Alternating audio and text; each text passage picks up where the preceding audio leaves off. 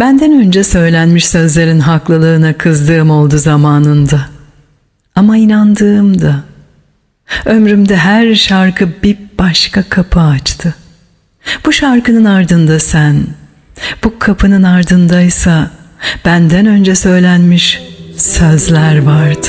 Geçirdim vaktiyle alemde savaşlar, çırpınışlar nihayetinde Aşık olmak kısmetmiş yar Sana aşık olmak kısmetmiş yar Seçtiğimiz hayatlar mı bunlar? Seçtiklerimiz mi? Bunca yokluk, bunca kırıklık, bunca acı. Seçtiklerimiz evet. Hayat bu sevgilim, çoktan seçmeli. Senin aşkınsa bir dönem ödevi. yar. Bir gece çıkıp gelsen ölmezsin yar. Ölümlerden ölüm beğen gelmezsen yar. Bir akşam çıkıp gelsen ölmezsin yar.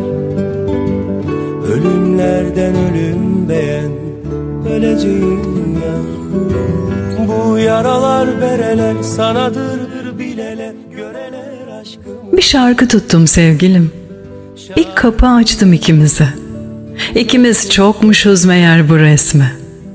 Kapatmadan bu kapıyı yine de bu yaralar bereler sanadır. Bu yaralar Bileler. bereler sanadır bilele göreler aşkımı Şahidim gök bu Şahidim gök kubbe.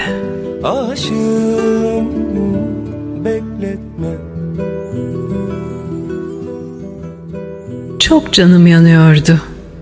Gördüklerimden ve göreceklerimden.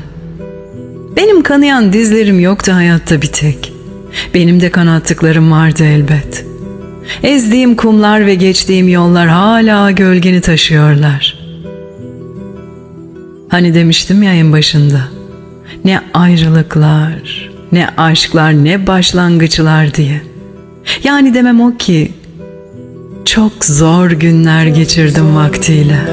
Geçirdim vaktiyle kalbimde firari endişeler nihayetinde Aşık olmak çok zormuş yar Sana aşık olmak çok zormuş yar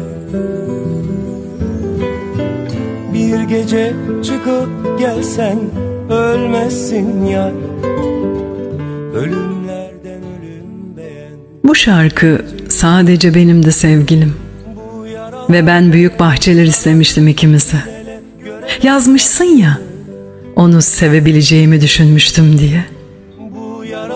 İşte, işte o günden beri belki de bu yüzden sadece bu yaralar bereler sanaydı, bileler.